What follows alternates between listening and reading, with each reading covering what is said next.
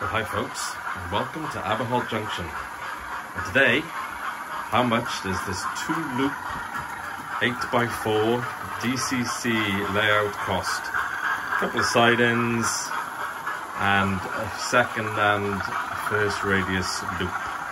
This is the start of my layout. There's going to be a mountain there and there's obviously going to be a dock here at some point.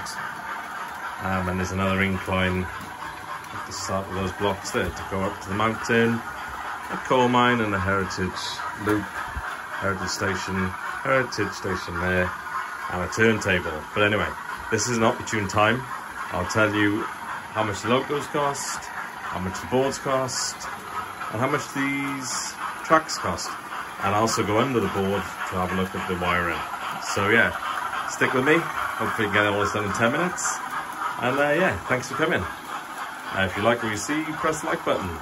And if you want to subscribe, I appreciate that too. And I appreciate all the new people who've joined recently.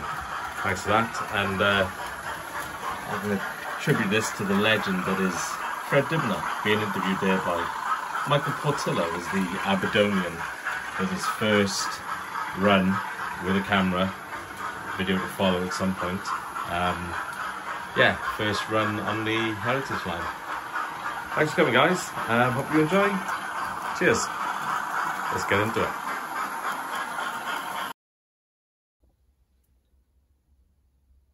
Okay, we'll start this uh, layout cost video with the items which individually will be your biggest outlay, and that is the locos. So here's my fleet of locos, which is pretty much complete for what I need for my layout. I probably need one more small shunter to work in the coal mine. Um, that Janus shunter there is going to be do be my dock shunter. But yes, so this is my my fleet, if you like. Very impressive, trooping the colour on the Queen's birthday. Um, yeah, there's a broad range of costs here. Um, I go wherever I can for sound locos. The only one that's not uh, DCC sound chipped is the Janus shunter. And in all fairness, I probably will never get around to, to fixing that for sound. I've also, to try and reduce costs slightly, um, I got the Class 37 off eBay. And I also got the 125 um, off eBay as well. Um, like any, you know, first-hand loco you buy or second-hand loco, there's a risk that it won't be a great runner. The Class 37 is a beautiful runner. I'm really pleased with it. Um, the 125, on the other hand, is not so good. so yeah, that's the risk you take, right? And so in terms of costs, starting from the left, the 125, which came DCC um, TTS chipped, so it's got sound, it's got lights, um, it's got one coach plus the dummy car at the end. That was 150 quid, so I think quite good value if it if it was a good runner. The class 121 was a bargain from Hatton's. Um, that was 80 quid, uh, sorry, 90 quid for the Loco. I then went all out because it was the first one I bought and put a LokSound V5 chip in there, and that was 120 quid. So all in that Loco with you know real nice um, ESU sound is 210 quid. That's a chunk of cash. Then the Aberdonian, then I got that as a steal on Amazon, but direct from Hornby. Uh, I got that for 150 quid, and I recently put a TTS chip in there. It's a real bugger to try and get the chip in. It's actually fitted into the to the front smoke box there. Um, that was 40 quid. So in total, that loco's cost me 190 quid to have um, DCC sound. The Janus shunter then, as I said, the only one that doesn't have sound, that's got a simple four pin Hornby chip in there, which I got Hattons to install for me because I wasn't too confident at doing it at that point. Now I'm happy to take these apart and chuck chips in there. That was 50 quid from Hattons, which is again an absolute steal. They're now up to about 80 quid. And the chip installation on top was another 20. So that loco cost me 70 quid. The Class 37 then from Fleabay, um, that was 90 quid. Um, I really wanted it because it's the Caerphilly Castle um, loco. Um, and being from the valleys it's uh, close to my heart. So that was 90 quid, really good runner. I recently put a TTS chip in there as well for 40 quid. Um, in addition to the TTS chips, I changed out the standard TTS speakers for iPhone 5 speakers from Roads and Rails. I highly recommend that. It's five quid or something, and the sound is so much better. So, all in, that loco cost me 130 quid. In addition to the locos, obviously you're going to need some coaches and some wagons. So for the demonstration purposes today of, you know, a two loop DCC layout, what I'm going to do is include these three. Um, with the Class 37, um, I've just got this fairly stereotypical, not long rake as some of the 40 foot uh, uh, layouts will attest to, but you know, for an 8x4, it's a reasonable rate. So six wagons there, and they typically cost about eight quid. So those six cost me around about 50 quid in total. And then the Aberdonian train pack comes with those coaches, which are going to fly through the background now as they go down my steep incline. So that actually didn't cost me anything extra. So the 190 quid that I paid for the Aberdonian, which is now without the TTS chip is 180 quid. So, you know, with a TTS would be about 220 now. That also comes with three wagons, uh, sorry, three coaches. So yeah, so those three, plus the coaches, plus the wagons, all in is 440 quid. So a big chunk of cash, but for a small, you know, 8 by 4 layout with, you know, two trains which can go round and round the loop plus a shunter for your sidings. All in, you're looking at, yeah, the best part of 450 quid. So, yeah, it's a chunk of cash, um, but it's by far the biggest outlay you've got for your for your layout. And there is cheaper versions, you know. You could, of course, go railroad. This is actually a railroad model here. You could go, you know, just have a couple of these and it would cost you 150 quid as opposed to 450 quid. Um, yeah, taking out the sound. If you go, you know, LokSound, the ESU LokSound chips are very expensive. You know, best part of 125 quid. Whereas the TTS chips, then, if they have them available for your loco, are 40 quid. You know, so it's it's a cheap way of getting sound into your locos. Um, but yeah, chunk of cash, 440 quid. Let's move on to the points, which is the next biggest outlay that you'll be getting for your layout.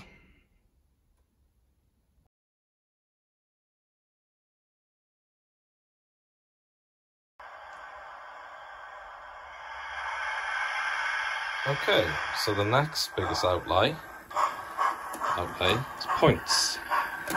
So in this current setup, I've got one, two, three medium radius electrofrog points in that little uh, throat to the station there.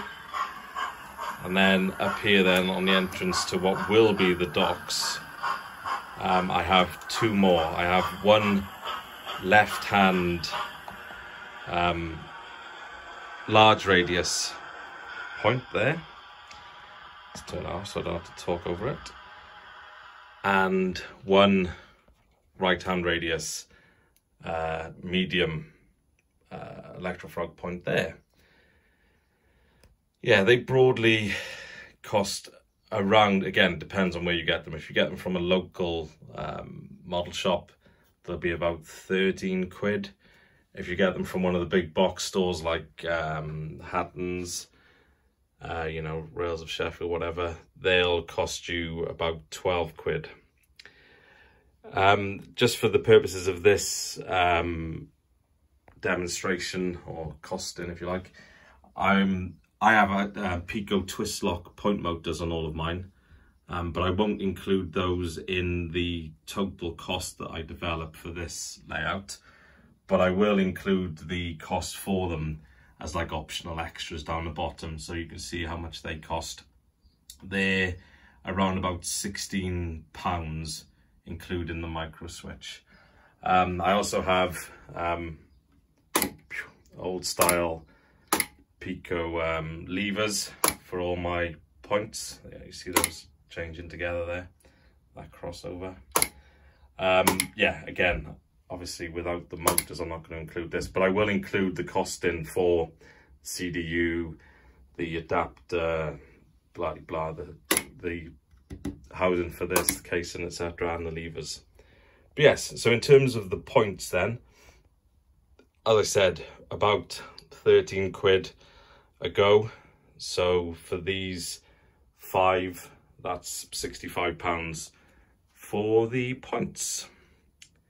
So yeah, not not terrible, but it is it is they're much more expensive than straights, flex track, and um, set track curves as well. So yeah, you have to be a bit selective, um, you know, in terms of if you're trying to keep costs down, how many points you want to get, because yeah, they do add complexity of wiring as well as uh, a little bit of cost. Whereas yeah, flex track, you know, three or four quid, cheap as chips, and that's for a 90 centimeter run. So yeah, the points are definitely more expensive, as you know, as they should be, because as you can see, it's quite a lot of complexity in there. There's springs and levers and all sorts of good engineering. Okay, so let's move on to the track itself. Okay, so onto track laying. Um, this is the equipment here that I use to do my track laying. Um, I use this Woodland Scenics track bed, this foam track bed you see here, this black stuff. Um, yeah, I find it really easy to use. Um, quick pro tip or amateur tip, if you are doing it on slightly sharper radius curves, um, certainly if it's first radius, you can split it in half before you lay it. It makes it a lot easier to get it down. I've got a video up there if you want to look at laying foam track bed on tight radius curves. Anyway, so yeah, fairly straightforwardly, um, foam track bed. I use the SL14 track fixing pins. I use a pinhole tiny, teeny, tiny drill to drill the holes first. Um, I did try and get away without using that, but it actually takes quite a bit of effort and it's only eight quid to get that done. Uh, track cutters then. So as I said, the flex track comes in 90 centimeter lengths. And if you need to cut it, I've got these, which are the vertical ones, which means you can do it in place as well. These are Xuron track cutters. They're 18 quid. Yeah, track pins. This is a cheapo Ikea hammer. Um, I bought this teeny tiny one from Hobbycraft, but I actually find it easier just to use the big one and just be careful not to hit the rails. It's easier to get the nails in, uh, the pins in, and you know, as long as you don't break them. The track at Aber Halt Junction is a mix of flex track for all the straights and some of the slightly less sharp curves, although this track here, from there to there, is actually about one and a half radius, and that's out of flex track. You've just got to make sure you pin it in quite aggressively. Um, and then I've got some, this is a second radius Peco, all the tracks Peco, um, find it really good. So up here is all the track and all the costs. So the track itself isn't that expensive really this track bed stuff, I've used two rolls of this so far. This is the third one. Um, and it's 15 quid a go, which is quite expensive. Um, but this 8x4 layout um, is only, uh, so that's 30 quid in terms of um, underlay. I did, for this first bit here, which is under the mountain, I did mess with Copydex and foam tack glue, but I found it's much easier just to pin the stuff. You'll note on that bit there, I haven't done any of the underlay and that's because this bit, everything you see essentially from there out is going to be a mountain. Uh, there's going to be a coal mine here and a heritage station up there. So yeah, no need to do underlay there. Um, I did do this first bit just to, just to try it out. In terms of wiring then, um, I got the, I bought some SL uh, 72 or whatever, the actual code will be there. Um, Peco droppers, SL71 maybe. They're about eight quid for four pairs. So what I then started doing is actually making my own. So if you've got a soldering iron and, and very poor skills like I have, you can still solder up droppers or alternatively, of course, you can just solder the wires directly to the base of your uh, flex track. There's a lot of debate on how to do that. um, my two loops don't give me any issues. I have done the recommended and put droppers on every connection essentially. So there's an awful lot of um, droppers and uh, connections to the main bus. In terms of the connections to the main bus, because I'm not too au fait at soldering, I use these Wago connectors. Um, I think these for 50 of these three, which allow you two to be your bus, which goes in a circle, and then one to the dropper. I think for this 50, they were about 15 quid. So in total, I probably spent about 20 quid in terms of getting the um, the main bus sorted. Wire then, wire then, it's just uh, fairly simplistic stuff. I've got a red and a black for the bus, and I've got green for frogs for the for the points for the micro switches. So yeah, uh, probably the main outlay for the ancillary bits of the track is the the underlay. Track itself, you know, the the flex track is about three or four quid, depending on where you get it from. The set track pieces are really cheap, you know, a couple of quid. So in terms of all the track you see here, apart from the points which I've already discussed, the track itself is actually a very small outlay. Um, I'll put the exact amount there, but before I actually calculate, I'm guessing it'd be about 30 quid or something. Yeah, not a big chunk of cash. As I said, then this is about an 8 by 4 layout, just to reiterate. Yeah, okay, so now let's move on to powering and controlling this whole thing. Okay, there's always a lot of debate on the forums for uh, what people use in terms of their transformers, like controllers. Um, I've gone for the Hornby Select. Um, I got this one direct from Hornby. Um, just because as I was setting out, I wanted to actually buy it direct from Hornby. I wanted to make sure that I had the most up-to-date firmware. That is key. Um, this cost me £125 from Hornby. If you shop around now, you can get them for about 110 quid. The key thing is to check that it has the most up-to-date firmware. The reason for that is then you can write CVs to your locos. It also gets rid of a few bugs. So yeah, check it's got the right firmware. And yeah, you can get this for about 110. The one up from this, um, which a lot of people like, is the NCE Power Cab. And that's about 170 to 180 quid. So, you know, 50% more than this. The the Elite then, which is the you know the more advanced version for the Hornby one, is about 230 quid. Um, that has two controllers and lots more CV writing capabilities. But as a beginner, you know, you can have 59 locos or something on this. Um, I actually find it completely reasonable. You, you've got to get the most up-to-date firmware. That's the key thing. And then a lot of the compatibility issues that a lot of the forums talk about disappear. And yeah, it's a perfectly good loco for, you know, for the beginner. Does does everything it needs to do, like that, which is drive a loco and put on sound and, you know, all that good stuff. Yeah, I, I'm personally a big fan, but I guess I'm biased because I got one. But it's a cheap, good starter uh, controller. I would recommend it.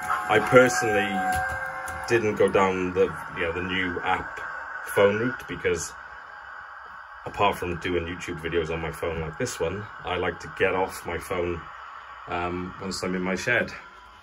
And hence, I like this old school thing. It's, you know, it's like the olden days when I was doing this when I was 14. Yeah, it's a good, it's a good controller. Okay.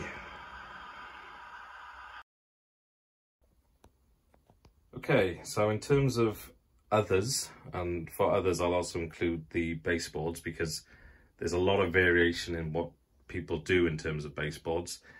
I've gone for 18 mil um, external ply because my shed, um, you might be able to see up there, is terribly leaky. I'm and was. I've fixed most of it now. But um, yeah, I've gone for 18 mil external ply to ensure that there's no issues. Ignore that. That's just me not be able to cut properly. Um, and then underneath then I've gone for CLS for the legs and for the cross members. So I've gone very belts and braces. Um, it means I can also get up on the board and do stuff up, you know, up in the shed and other places. So it's actually a low bearing um, construction. You certainly don't have to go that over the top. You can get an 8x4 12 mil sheet of ply for like 30 quid from B&Q. You know, legs, probably similar again. So in terms of ba baseboard cost, you know, less than 100 quid certainly can be done. Um, if you just do a baseboard on the floor, you know, 30 quid, 25 quid even, you can get your baseboard on the floor and just pin your track to that.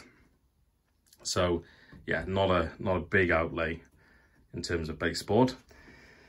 The other thing which actually saves you a bunch of cash in my opinion, especially if you're thinking about using the Peco droppers, um, depending on the size of your layout, once you start buying packs and packs of them, your cost benefit analysis would certainly say to buy a soldering iron instead. This one's from Lendon's, um, it's about 30 quid. And yeah, you know, three or four packs of droppers um, and it already pays for itself. And it's and it's good fun. It's um, not as severe as you might think. So yeah, you just get a get a bit of solder, soldering iron, flux if you're a pro, um, and crack on with it. I also recently, just in terms of optional additional splurging, I bought this Apeman um, camera from uh, Amazon and it's it's just a lot of fun. It's, you know, I've, I've just knocked up, I've just took off uh, uh, the top of a wagon and just used the the, the bogies and the chassis to uh, to construct a little cradle for it. About 40 quid, yeah.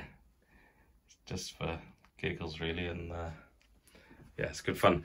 Yeah, so that's it. That's it, folks. Um, so there's now the compiled table and you can see the, the total cost. There's cheap, you know, there's other options. You can, of course, buy like the mixed freight set from Hornby.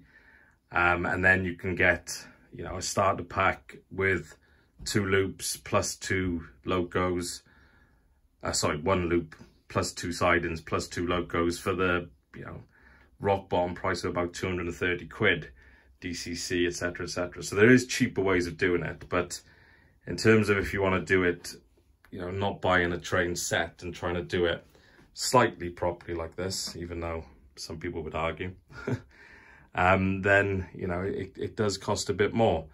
Now I've done the initial outlay, um, you know, there's not an awful lot more to come. There's probably another, I don't know, maybe 300 quid to finish off all the um, track parts of it and do some of the, the scenics as well. So all in, you know, you, you are talking a chunk of cash, but I've spread mine out over, um, you know, the best part of a year. So it's not as if you have to spend all of that outlay right at the start. You know, once you've got a, a controller, a bit of track, one loco, you can get cracking. So you know, that's sub 300 quid probably to, to actually get a simple one loop setup and, uh, and get going in this great hobby. And yeah, the purpose of doing this video is just to show that it's not as extortionate as some people might think. Um, if you compare it to, you know, a golf membership or going skiing or smoking 20 cigarettes a day, um, it's actually quite cheap and it's probably really good for your health. Certainly good for mindfulness.